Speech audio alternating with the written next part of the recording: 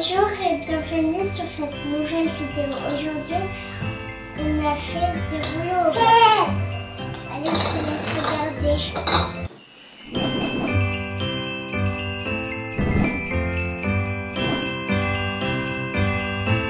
Pour 4 personnes, vous aurez besoin de Un paquet de carpaccio de bœuf, de carottes, une courgette, un concombre, deux cuillères à soupe de maïzena, une botte de ciboulettes, une cuillère à soupe de miel, 4 cuillères à soupe de sauce soja, une cuillère à soupe de sauce de poisson, une cuillère à soupe de vinaigre, une cuillère à soupe de sésame, une cuillère à soupe d'huile végétale.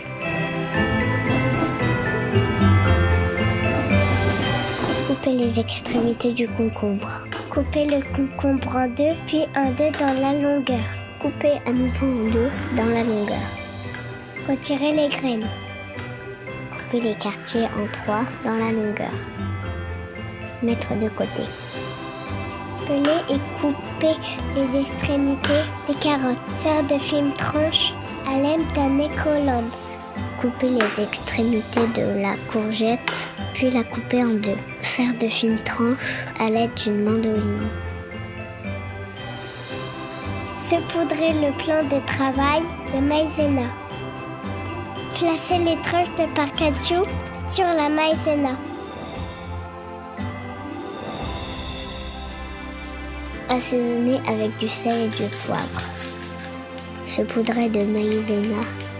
Placer les tranches de carottes sur les tranches de parcaccio. Ajouter les tranches de courgette.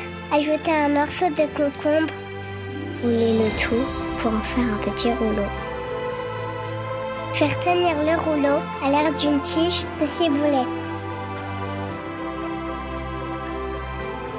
Mettre un peu d'huile de sésame et végétale dans une poêle. Et déposer les rouleaux lorsque l'huile est bien chaude. Tourner les rouleaux afin de les dorer de chaque côté.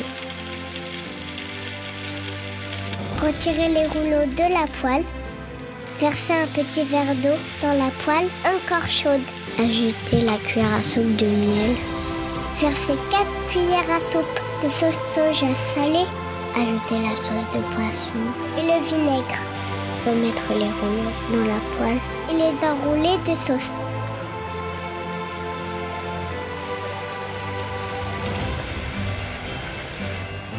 Retirer les rouleaux.